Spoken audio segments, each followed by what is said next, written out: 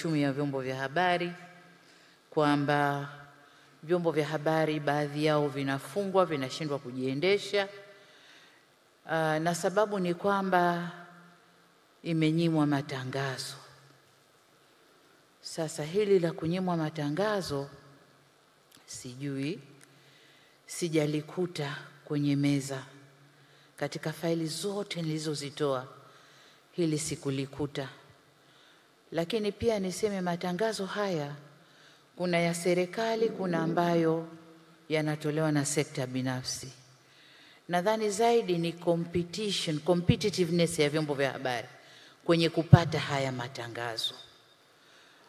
Kwa wale ambao wako wana, wana hima wana, wako active kupata haya matangazo na kwa wingi, na ni matangazo ya aina gani, yanalipwaje, wale wanakwenda vizuri, lakini wale ambao hawajawa active basi mambo hayawi vizuri. Nataka nikupeni mfano. Mimi kule Zanzibar, network yote akina Masuluhu tumefungua kituo cha TV kinaitwa Sunet, Suluhu Networks TV, lakini nadhani kimeanza mwaka jana kidogo kidogo, mwaka huu kimepata license ya kujiendesha, lakini mpaka leo mishahara tunachanga, hatujawa active kupata matangazo ya kukiendesha hicho kituo bado tunachanga kina Suluhu, ndio tunalipana huko mishahara, tunalipa wahariri, tunalipa watu wa news, tunalipa nani kwa kuchanga. Sasa wito wangu kwa wenzangu ni kwamba changamkieni matangazo, ndio mtaweza kugenerate pesa tuweze kulipa na kuendesha kituo. Sasa na wenzangu ambao wako kama kituo cha, cha kina Suluhu, naomba wachangamke kwenye matangazo. Kama kulikuwa na hilo katazo, mimi sikulikuta, lakini nataka niwahakikishie, wakati wangu huu sitakataza. Matangazo ni kinyang'anyiro na uwezo wa mtu kupata matangazo na kujiendesha. Lakini pia kulikuwa kuna suala la uh, kulipa madeni ambalo waziri mkuu alishalishughulikia. Niwahakikishie tu kwamba nami nitafanya kazi na waziri mkuu, tuone jinsi tutakavyoweza kulipa kidogo kidogo lakini katika madeni haya lazima tuya tuyafanyie verification, tuyathibitishe kwamba ni madeni halali. Baada ya kuyathibitisha, tutaanza kulipa kidogo kidogo. Hatutaweza kulipa kwa mkupuo, lakini kwa awamu baada ya awamu tutaweza kulipa. Swala jingine ni package ya corona stimulus. Ndugu yangu, hili ni zito kidogo. Niwe mkweli, hili ni zito, kwa sababu kama nchi pia tuko kwenye mkumbo huu, nasi tunahangaika na wengine huko kutafuta package itakayo tu, tu, tu stimulate kutokana na kudorora kwa uchumi kwa kutokana na janga la corona. Sasa kwa sababu sisi wenyewe huku juu uchumi wetu tulikuwa tunakuwa kwa asilimia almost saba, tumeshuka mpaka nne, mwaka huu tunaomaliza tano point tano. Alhamdulillah tunapanda. Sasa jinsi tutakavyopanda vizuri tunaweza tukaliangalia, lakini kwa sasa nataka niwe mkweli tu kwamba kwa sasa hatutaweza, kwa sababu hata uchumi wenyewe wa nchi na wenyewe uko kwenye hiyo package, tunahangaika kukombolewa huko. Sheria ya habari imeunda vyombo vinne vinavyofanya kazi zinazofanana.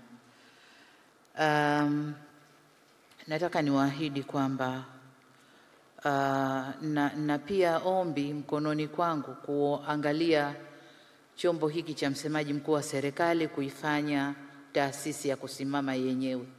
Sasa wakati tunatizama hilo, tutayaangalia na haya mengine yote, na katika kuyafanya hayo hatutafanya sisi pekee tu serikali, bila shaka tutawataka jukwaa la wahariri mje, uh, taasisi nyingine za vyombo vya habari tukae pamoja tuyaangalie na tuone tunakwendaje kwa manufaa mapana ya taifa letu.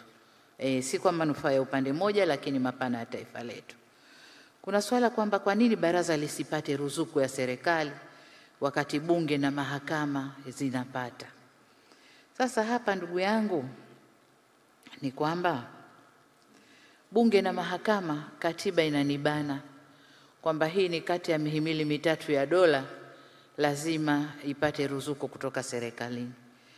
Uh, baraza au uh, jukwaa la wanahabari bado halijawa, lakini tuendelee na mazungumzo, tuone tutafika wapi, jinsi ya kufanya kazi pamoja, na kama kuna ruzuku ni kwa kiasi gani na vipi iweze kutoka.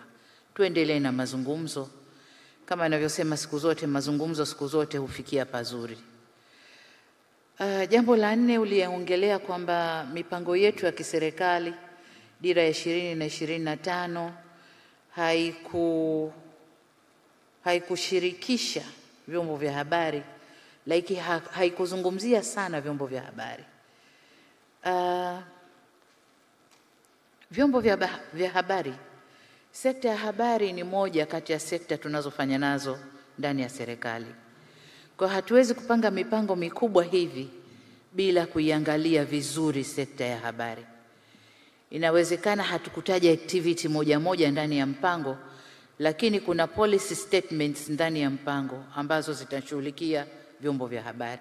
Sasa ili kwenye, twende kwenye hatua hii ambayo imeitaja, inabidi sasa tuibue tulioyazungumza ndani ya mpango ule na tuanze kuyachakata sasa, tunafanyaje ili vyombo vyote vya habari au taasisi za vyombo vya habari ziweze kuingia na tufanye nazo kazi kama vile ambavyo tungekuwa tunaona inafaa. Uh, umekubali kwamba kuna kanuni nyingi zimefutwa ambazo zilikuwa haziko vizuri kwa vyombo vya habari, nami nilipongeze hilo, lakini pia umesema ada za leseni zinalipwa kwa dola na ni kubwa. Mimi kama mdau wa chombo cha habari naungana nao.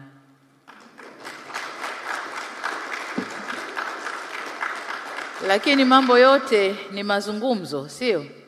Na tuangalie sasa zile gharama halisi, tunaweza kwendaje? Kwa sababu tuliweka pia maeneo mengine leseni za aina hiyo au ada mbalimbali, lakini baada ya mazungumzo tukapunguza au kufuta kabisa. Hatutaweza kufuta kwenye leseni za habari, lakini tuangalie sasa kitu gani kipo katikati kinachofanya leseni ifike hapo.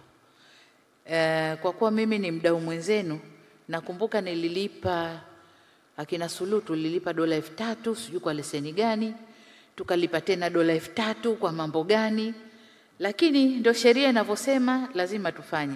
Sasa kwa sababu tuna, tuna concern na hii sheria ni yetu wa Tanzania, hatuwezi kuwa watumwa wa sheria tunazozitunga. Taka kitako tuziangalie na tuone tunafika wapi. Kuna pendekezo la idara ya habari iende kwenye Wizara ya Teknolojia ya Habari. Kama nilivyosema, tutakaa tuyaangalie kwa pamoja. Tukiwa na justification za kutosha, basi tunaweza tukaamua vinginevyo.